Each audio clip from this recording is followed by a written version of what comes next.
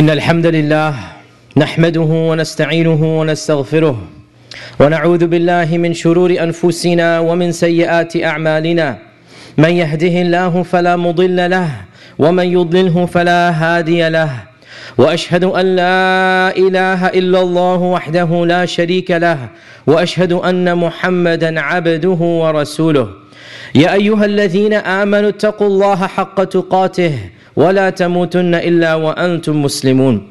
يا أيها الناس اتقوا ربكم الذي خلقكم من نفس واحدة وخلق منها زوجها وبث منهما رجالا كثيرا ونساء واتقوا الله الذي تساءلون به والأرحام إن الله كان عليكم رقيبا. يا أيها الذين آمنوا اتقوا الله وقولوا قولا سديدا يصلح لكم اعمالكم ويغفر لكم ذنوبكم ومن يطع الله ورسوله فقد فاز فوزا عظيما اما بعد My dear brothers and sisters in Islam, one of the chapters of the Quran that all of us have memorized and we frequently recite in our prayers is Surah At-Teen.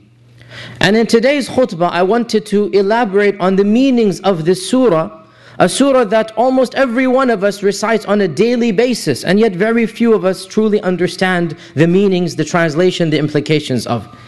And my dear brothers and sisters in Islam, the only way to attain true consciousness during salah is to understand what you're praying. If you don't know what you're saying, how can you possibly achieve the amounts of piety that are required when we are in our prayers?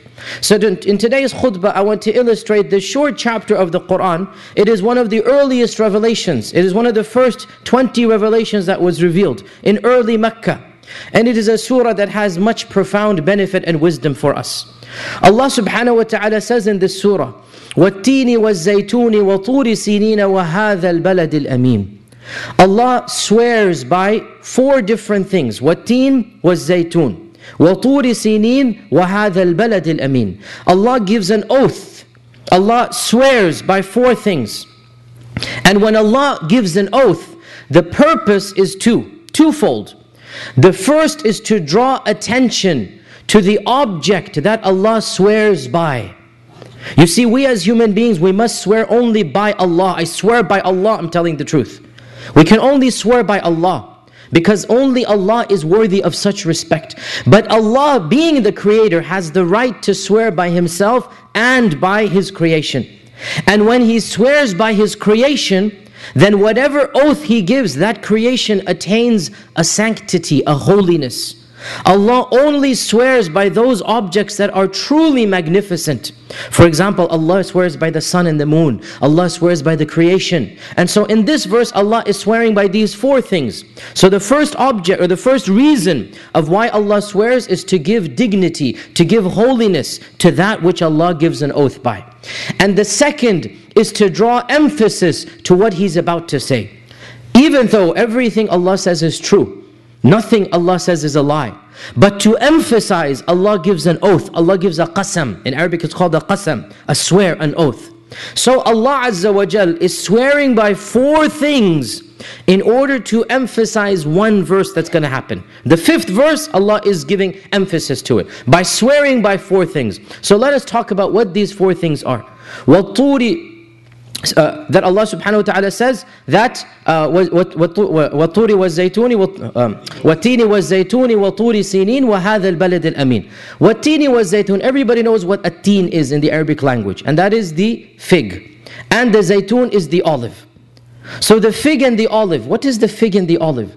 Scholars say the reference is not to these fruits and these plants. The reference is to where they primarily grow on earth and that is Jerusalem and the lands around Jerusalem. The reference is not immediately to the plants themselves, but rather the land that is associated with these plants. Because in Arabia, the only place they got figs and olives from was Jerusalem. And of course, to this day, the figs and the olives of this land are considered to be the best in the world. If you go to a very fancy restaurant, they will actually say, these are olives imported from basically the Sham region. These are considered to be the best on earth. And Allah Azza wa gives a qasam by them. Not just to signify these two fruits, but to signify the land that they come from. So Allah is swearing by Jerusalem. Why Jerusalem? Because Jerusalem is the place where the majority of God's prophets have come. Most of the prophets are associated with Jerusalem. And the culmination of this is, of course, Jesus Christ Himself. So Allah subhanahu wa ta'ala gives a qasam by Jerusalem. This is one interpretation. Another interpretation says, Watteen is a reference to where Noah's ark landed. And as Zaytun is a reference to Jerusalem. So by this interpretation, what Tini was Zaytun is referencing the Prophet Nuh and the Prophet Isa. Noah and Isa. Waturi Sinin, there's only one interpretation for this, Mount Sinai. Mount Sinai is only famous for one thing, and that is the revelation that Allah gave to the Prophet Musa, the Prophet Moses. And so Allah Azza wa Jal, the second or the third qasam is about the Sinai Peninsula or Turi Sinai. And Turi Sayna is of course the place where Allah spoke with Musa alayhi salam. So the reference here is to the Mosaic message, the message of the Prophet Musa. So watini was zaytuni wa turi sinin wa hadha al-balad al-amin. And this city that you are currently living in, i.e. Mecca, this city that you are currently living in, the peaceful city, Allah called it Al Amin, the peaceful city, the city of security the city of uh, non-violence. Why? Because Mecca, Allah says in the Quran, whoever enters it shall be safe. No one is allowed to harm anybody in Mecca. And Mecca is the sacred city of, of this world. So, according to the first interpretation, Watini was Zaytun, Jerusalem. Waturi Sinin, Mount Sinai of Moses. وَهَذَا الْبَلَدِ الْأَمِينَ Mecca. This is one interpretation. And so the reference is to the three basically holy places of this world. Or the three places that Allah primarily communicated with mankind. According to the other interpretation, Nuh alayhi salam is included. What teen would be Nuh because according to one interpretation, teen is the name of a place where the uh, Noah's ark landed. This is one interpretation. So according to that interpretation, these qasams, these oaths are regarding many prophets. In fact, the five major prophets that walked the face of this earth. And these are, of course, as we all know, Nuh or Noah, Musa, Moses. Of course, Nuh and Musa are referenced directly. Isa by Jerusalem, Jesus. And then Ibrahim and the Prophet are both linked to Mecca. Because of course Mecca was declared holy by Ibrahim and then the Prophet lived and uh, was born and raised in Mecca. And so one interpretation says three lands are being referenced. Another interpretation says five prophets are being referenced. And there is no contradiction between these because these five prophets are associated with these three lands.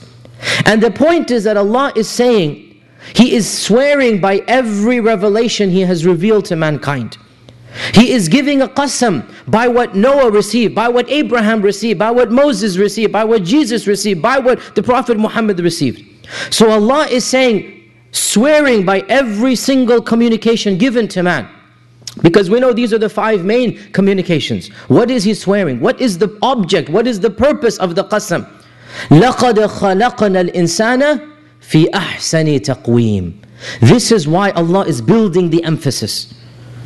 In the beginning it's cryptic. وَالتِّينِ وَالزَّيْتُونَ وَطُورِ سِينِينَ وَهَذَا الْبَلَدَ أَمِينَ So by this cryptic oaths, the mind is immediately interested. What is going on? What is the reference to a teen and a zaytun, to Mount Sinai, to this city? What does Allah want to say? Then Allah says, لَقَدْ خَلَقْنَا الْإِنسَانَ فِي أَحْسَنِ تَقْوِيمٍ Surely we have created man in the best of all fashions and forms and shapes. This is the object of the qasam. This is why Allah is giving these oaths one after the other. Allah is swearing by Jerusalem, by Mount Sinai, by Mecca. Allah is swearing by Moses and Jesus and Abraham and Noah. Allah is swearing by every revelation given to man. That Allah is saying laqad and laqad is as we all know an emphasis in Arabic. So this is emphasizing what does not even need any emphasis because it has been preceded by four oaths. In other words, Allah gives four oaths, one after the other, to build up the climax. And then Allah emphasizes it for a fifth time. لَقَدْ And what is the point Allah wants us to emphasize? I have created you in the most perfect, in the most beautiful, in the most majestic manner. And from this verse, we learn that the Islamic perspective of man is that man is the most noble of all creatures. Man is the most noble of all creations of Allah. Man is at the pinnacle of every other creature around us. And in fact, Allah explicitly says in the Quran that He has created for you, meaning for man, all that is in the heavens and earth. خَلَقَ لَكُم مَا فِي الْأَرْضِ For you He has created. All the other elements may be subjugated. All the other animals may be subjugated by you. So Allah has made us the superior creation. And this is something that we don't need to even emphasize because it's well known. The only creation that has language, po poetry, and arts, the only creation that has civilization, the only creation that is able to ponder over the creation. No other creation of Allah can think about the creation, can they? They're animals, they're living their lives just like animals. The only creation that can study the creation, the only creation that can appreciate the beauty of the creation. This is man. And so Allah blessed us intellectually. Allah blessed us in being able to control the natural resources. And of course, with control comes responsibility, but nonetheless, we have the power to effect that change. Allah gave us that power. Allah blessed us to be the most noble of all creation. And the scholars here comment on physically, we are the best. Intellectually, we are the best emotionally, every from every element. Allah gave us what He gave no other creation. لَقَدْ خَلَقْنَا الْإِنسَانَ فِي أَحْسَنِ تَقْوِيمٍ Even in terms of the dignity of our looks, the majesty of our creation, everything, Allah Azza wa Jal has perfected it. So, لَقَدْ خَلَقْنَا الْإِنسَانَ فِي أَحْسَنِ تَقْوِيمٍ The best of all is man. Then what? ثُمَّ رَدَدْنَاهُ أَسْفَلَ سَافِلِينَ This is a melodramatic follow up. That if you were to stop over here, it is a shocking verse that from the height of the high, we have caused him to go to the lowest of the low. And if you were to stop here immediately, the whole verse is very climatic. The whole verse is very melodramatic, one verse after another. It keeps on calling for your attention. It keeps on causing you to ponder, oh, we created man in the best of all images. We feel a sense of pride. Then the next verse, Then he was caused to regress, to fall down to the lowest of the low. How so? All of that pride is deflated. What happened? Why did we lose that status? Allah subhanahu wa ta'ala goes on and says, إِلَّا الَّذِينَ آمَنُوا He clarifies what's going on. But one group remains at the top. One group stays where Allah wanted them to stay. Allah subhanahu wa ta'ala wanted man to be at a position. What is that position? The best of all positions, the highest of all, the pinnacle. That is what Allah created us to be. But we, from our own actions and our own insolence and arrogance, we turn our backs from that position of gratitude. We turn our backs away from that position of honor and we call our, cause ourselves to fall to the very lowest of the low. Asfal as-safilin. Why? How? What have we done? There's one group that remains there, and Allah describes them because they are our role models. Allah doesn't describe the ones who fell off. Allah describes the one who remain where Allah put them. That's our original position. That's where we're supposed to be. How do we retain that status? إِلَّا الَّذِينَ آمَنُوا وَعَمِلُوا الصَّالِحَاتِ فَلَهُمْ أَجْرٌ غَيْرُ مَمْنُونَ The only ones who remained at the pinnacle were those who had good faith and righteous action. Those are the ones who are where they're supposed to be, who are where Allah placed them, and that is the highest of the high. So Allah subhanahu wa ta'ala says that those who have good faith and follow that up in good actions, إِلَّا الَّذِينَ آمَنُوا وَعَمِلُوا الصَّالِحَاتِ They shall have a never-ending reward. فَلَهُمْ أَجْرٌ غَيْرُ مَمْنُونَ so how does one retain the dignity that Allah created us upon? You see, we firmly believe that Allah created man in the best of the best. This is our position that Allah willed for us. But we have a choice. Do we wish to retain that position? And do we wish to remain the best of the best? Or are we going to reject that status? And when we reject it, there is no middle ground. That's the point here of the verse. If you turn your back on the blessing, If you turn away from that status, all, the only other status is asfala safilin, the lowest of the low. There is no intermediate, there is no middle category. Allah Azza wa tells us in the Quran that those who follow their own desires without any guidance from Allah, those who follow, live lives like animals, Allah says. Allah says, "In "Inhum illa kal an'am." They are actually animals, balhum adal. Rather, they are more misguided than animals themselves. The point being, the Quran is very clear. Allah has blessed you with a mind, with an intellect. Allah has blessed you with a spirit, with passions, with himmah. Allah has blessed you with nobility. If you choose to ignore those blessings, and you still live your life as if you didn't have those blessings, well, then you are worse than those who weren't given those blessings in the first place, and that is the animals. Inhum illa kal'an'ami balhum adal, Allah says. They are like the cattle, rather they are worse than the cattle because they have willfully, knowingly rejected the blessing of intelligence, the blessing of thinking and contemplation. And so Allah subhanahu wa ta'ala tells us that the only group that remains in status quo, that Allah wants us, are those who have good faith and good actions. Now we all know that on our religion, our religion is based upon two fundamental pillars. Good belief, iman, and good actions, amal. There are some many, there are many faiths in the world whose emphasis is only on faith. All you need to do is to believe and you're going to be saved. We don't believe this. There are many other philosophies, including the modern philosophy of humanism, that basically says all you need to do is to do good deeds and you're a good person. As long as you're good to others, then you shall be good in the eyes of God. We in our religion say no. Both of these conditions need to be met.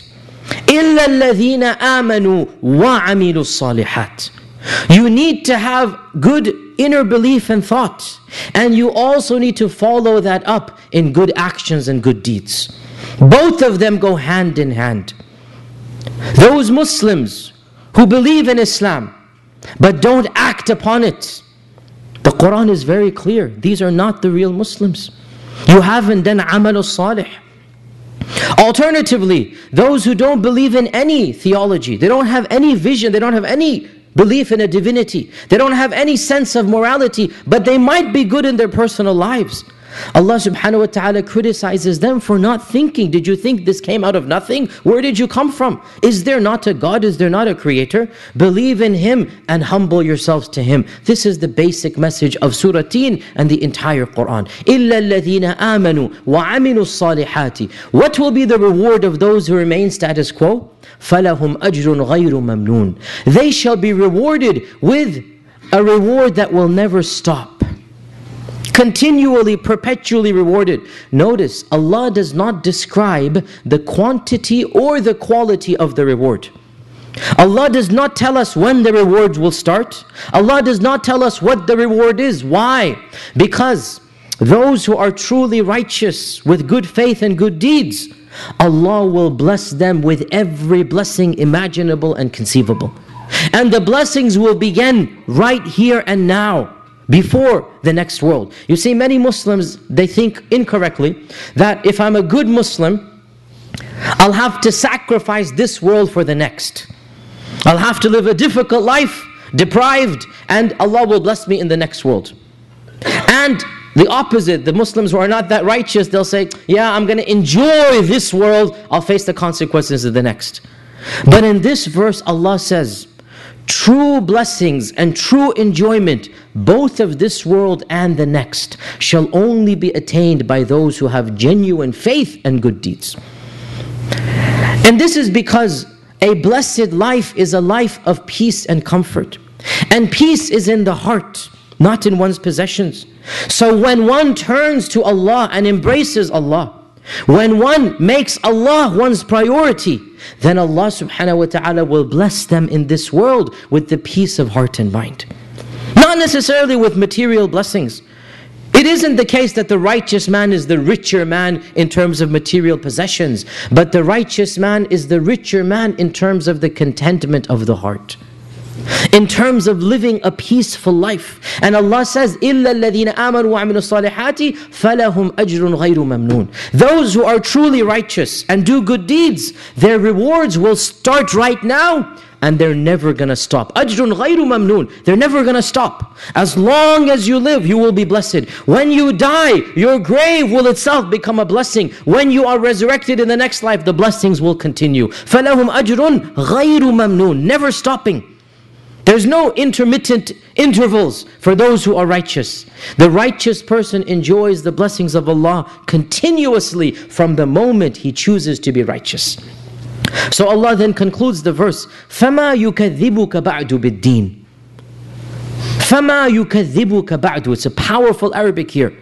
And the English can only be translated very roughly as, so then, what possibly will cause you to reject the deen?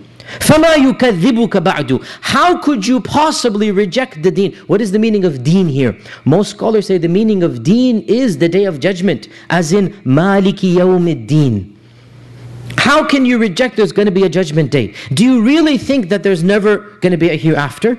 Don't you realize that the one who created this world once can recreate it in a different fashion again? That's what Allah tells us in the Quran. So why would you then reject judgment day?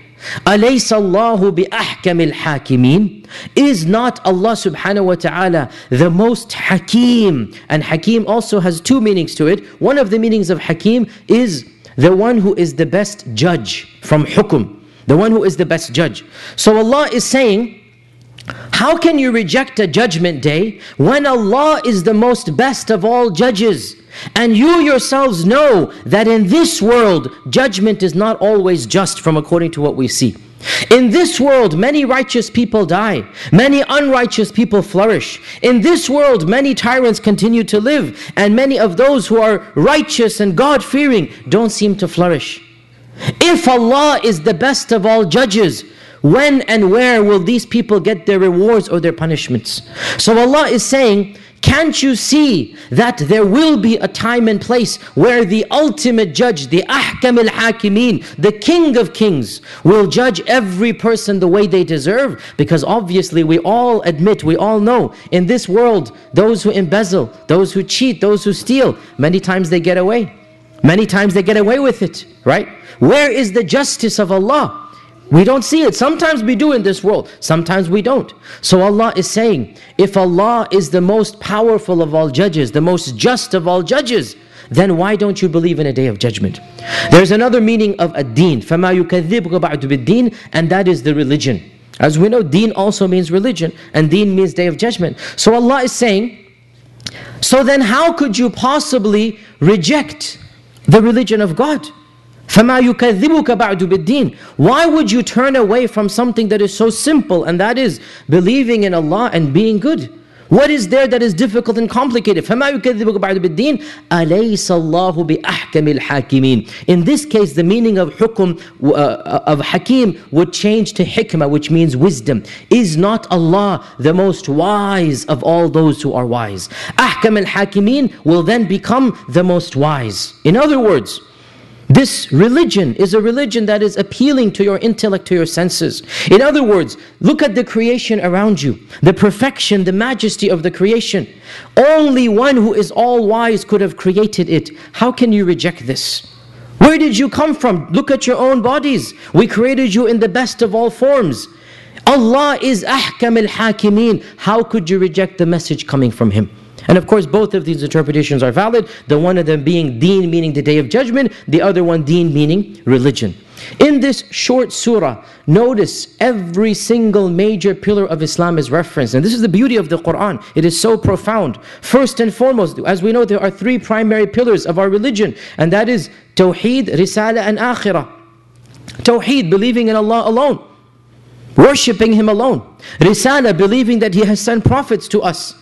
And Allah references Tawheed and Risala very clearly in this, in this chapter. Allah mentions the prophets, Jerusalem, Mecca, Mount Sinai. Allah mentions Moses, Ibrahim, Jesus, all of them with the same message. And then Akhirah, which is the day of judgment. Allah subhanahu wa ta'ala mentions the deen, which is the day of judgment.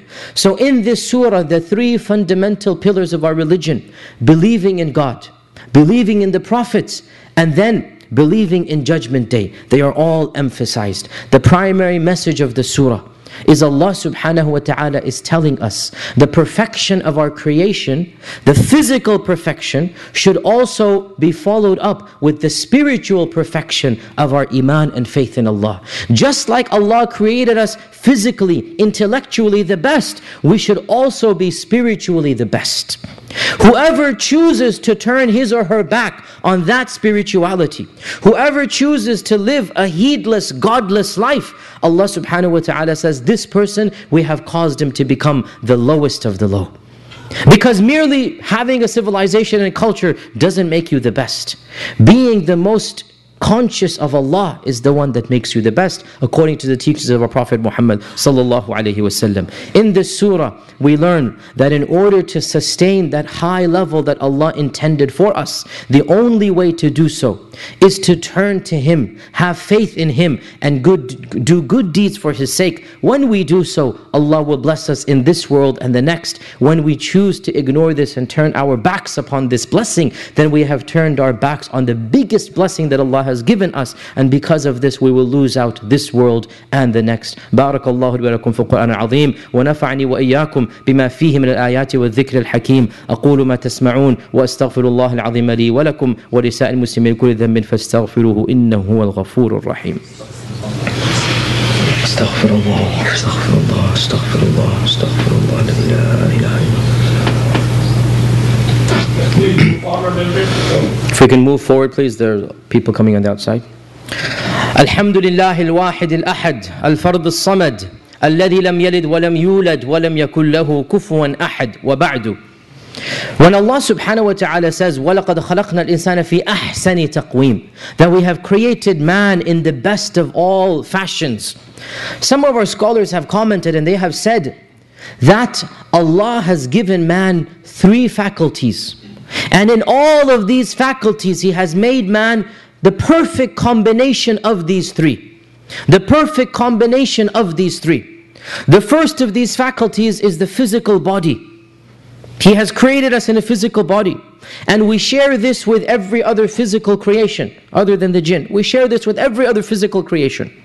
The second is the faculty of the ruh, which is our soul, which is our spirit inside of us. And we share this as well with every creation of Allah subhanahu wa ta'ala that is living. And the third faculty is the faculty of the intellect, of the aql, Allah calls it in the Quran. And this faculty as well, of course, animals possess it as well to a degree, but it is only manifested truly in human beings. And some creation have been given one of these three more than the other. For example, the angels don't have any physical bodies, they are spiritual beings. The jinns as well, they have no, no physical body.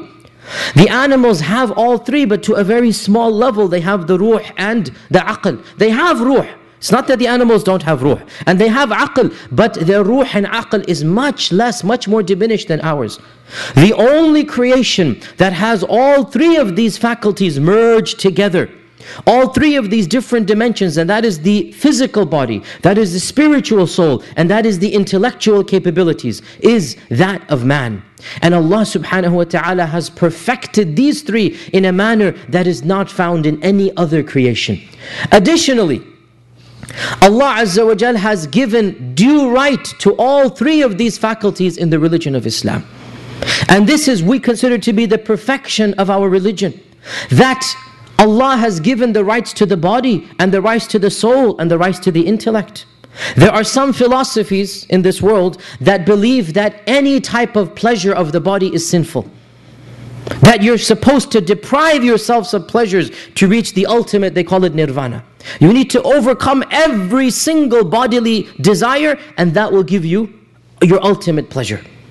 There are others who are the exact opposite and they say, the pleasures of the body are the only pleasures worth concentrating on. Islam comes and gives us the middle path. For every single desire of the flesh, there is a permissible route and an impermissible route. Food, drink, sensuality, everything. There is something that is permissible, halal, and there's something that is impermissible. In fact, it is true to say, and listen to this carefully, Allah has not created within us any desire Except that this desire can be satisfied in a permissible manner and it can also be satisfied in an impermissible manner. And this is of the beauty of our religion of Islam. The same goes for spirituality. Some trends, some movements, some religions wish to emphasize the spirit to the exclusion of the body. In fact, there is a movement within our religion that says that the body was the punishment to the soul. That the soul was punished by putting it into the body. And so they try to minimize the influence of the body and emphasize the spirit. Once again, that's one side. The other side is to neglect the spirit. And we as Ahlul Sunnah wal Jama'ah, we are the middle path here. We say that the soul has its rights. And we give emphasis to the soul. How so? By reflection, by dhikr of Allah subhanahu wa ta'ala, by re-establishing the connection that the soul had with Allah, because the soul comes from Allah in a manner that we don't understand. Because Allah says, we blew into Adam from our soul, from our ruh. وَنَفَخْنَا فِيهِ مِن رُوحِنَا And so by reconnecting to Allah, the soul is reconnected. And so our religion emphasizes prayer and charity and fast and all of these rituals that are intended to emphasize the soul and the intellect as well. Allah subhanahu wa ta'ala does not tell us do not think. We know there are over 200 verses in the Quran. أَفَلَا تَعْقِلُونَ أَفَلَا تَذَكَّرُونَ أَفَلَا تَذَكَّرُونَ Don't you think? Don't you ponder? Don't you reflect? Allah subhanahu wa ta'ala challenges people in the Quran. Think about the creation. Allah subhanahu wa ta'ala says, in the creation of the heavens and earth around you, there are miracles for those of intelligence. Allah wants us to use our intelligence productively. Now once again there are extremes. There are those who say don't ask, don't question. Whatever the preacher, the sheikh tells you, no questions asked. This is not the true Islamic methodology. The exact opposite is that of a group of people who say, we don't need religion. We don't need Abraham and Moses and Jesus and, and, and, and Muhammad for, for teaching us. We have our brains and our minds, and our minds can arrive at ultimate truths. And this too we say, no. The mind is like every organ, like the eyes, like the ears, like the, like the physical strength. There's a realm that you can use the mind in. There's a realm you can see in, but you cannot see in the dark. You cannot see 50 miles away. You, you have a realm, you use your mind in that realm, and you're doing great. If you try to take your mind beyond the realm, you're going beyond what Allah created the mind for. And even this is logical, it's not illogical. The Sharia does not have anything that goes against logic and rationale, but it has things that are above and beyond what logic and rationale can teach us. And there's difference between the two.